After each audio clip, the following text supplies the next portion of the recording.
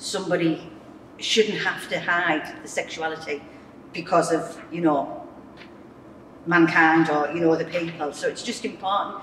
You shouldn't suppress your feelings. You should be able to fall in love with who you want to fall in love with, be who you want to be.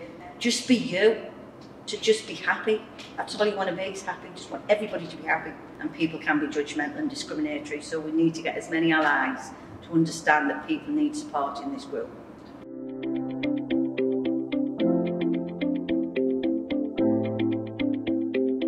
They've educated me in a lot because I didn't realise how ignorant I was towards the LGBTQ. I've been educated, very, very much so.